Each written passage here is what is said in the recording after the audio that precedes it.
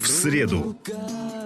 Тонкая нить, связывающая нас с прошлым, готова оборваться в любую минуту. Надо солдатиков-то похоронить. Это же моя фотография. Охренеть, точно ты. Андрей Александрович, это ты. Нельзя забирать то, что принадлежит холодному пеплу войны. А может мы спим? Это сон? Мы с вами попали в прошлое.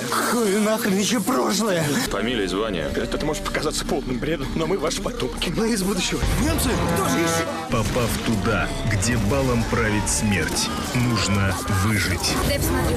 Ничего, жить будешь. Может там йодик, зеленочка, спиртик, бинтик. Можете сиську еще дать. Тащи быстрей! Чтобы сохранить память о том, что давно позабыто. Когда конец войны? 9 мая 45-го. Неужели выдержим? Войну-то выиграем. Это я вам гарантирую. Но вот счастливого будущего, это я вам не обещаю. Мы из будущего. В среду на ТВ Рус.